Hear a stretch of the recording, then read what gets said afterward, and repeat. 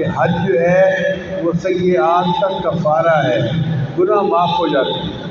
नबी इस्लाम ने फरमाया कि जिस बंदे ने हज मबरूर किया, हज मकबूल किया, राजा के यौमिन वलदत तो उम हो वो इस तरह वापस अपने घर लौटता है, जिस तरह उस दिन पाक था, जब उसकी माँ ने उसको जन्म दिया था।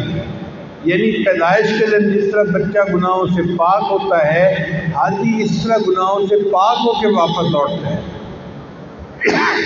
अल्लाह की शान देखें।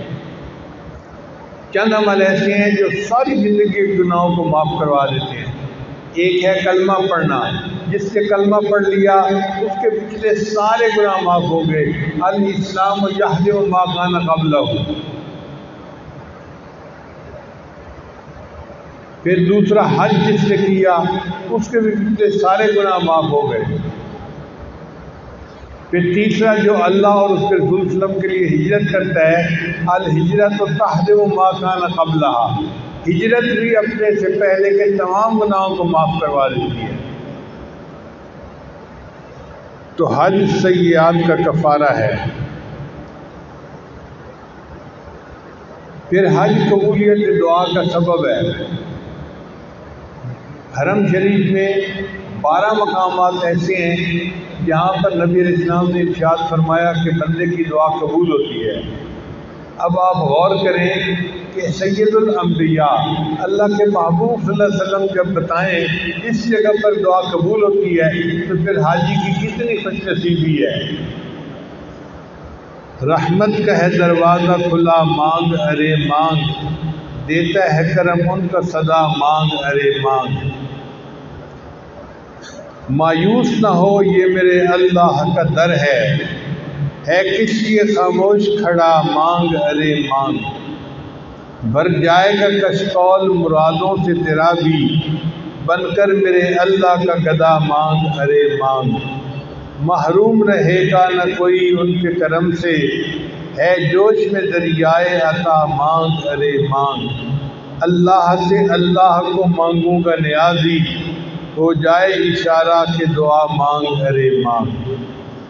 तो बंदा वहाँ दुआ माँगता है और अल्लाह की तरफ़ से कबूलियत हो जाती है। जो है, वो ज़रिए तस्दीर है। ज़रिए तस्दीर का क्या मतलब? कि बैतुल्ला को देख के हमें अल्लाह याद आते हैं। जैसे मकान को देख के मकीन याद आता है, हम अल्लाह के घर को देखते हैं, हमें अल्लाह याद आता है। हम अल्लाह को तो नहीं देख सकते, अल्लाह के घर को तो देख सकते हैं ना। और ये दस्तूर है कि जब कोई महबूब को न देख सके तो महबूब की मुतल चीज़ों को देख के वो दिल को तसल्ली देता है। बेटा फौत हो जाता है ना तो माँ उसके कमरे में जाके सुकून महसूस करती है। उसकी चीज़ों को देख के सुकून महसूस करती है। मेरा बेटा ये कपड़े पहनता था, ये चप्पल पहनता था, ये काम ऐसे करता था, ये काम ऐसे करता इसी तरह जब मोमिन अल्लाह के घर को जाके देखता है तो उसे अल्लाह याद आता है कि मेरा अल्लाह कितना करीम है, मेरा अल्लाह कितना अजीम है, उसकी क्या शान किब्रियाई है और उसकी क्या शान दिल रुबाई है। हाजी, अल्लाह के दीदार के लिए फिरते फ़कीर बन के वहाँ। बिखरे बाल होते हैं, एहराम पहना हुआ होता है और खुशबू लगा नहीं सकता, सिले कपड़े पहन नहीं सकता। कभी सब, सफ़ा, कभी बिना जाता है, वहाँ से अरफात जाता है, वापसी मुदल पर ठहरता है, फिर वापस आता है तो वापसी ज्यारत करता है। फिरते हैं तेरे, फिरते हैं सूरत फ़कीर, हम तेरी दीद के लिए, खाना बकाना दर बदर, कूचा व कूचा कू बकू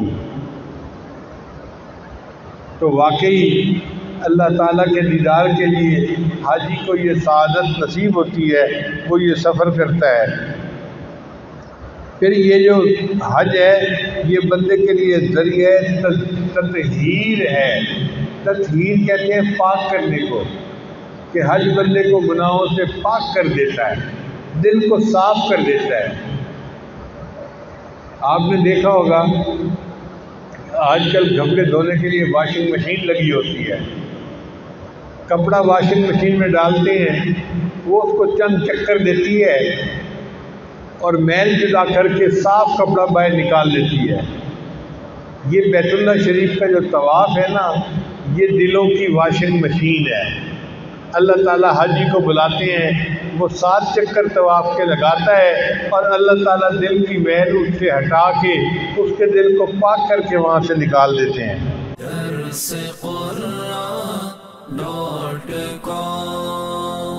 www.dasquran.com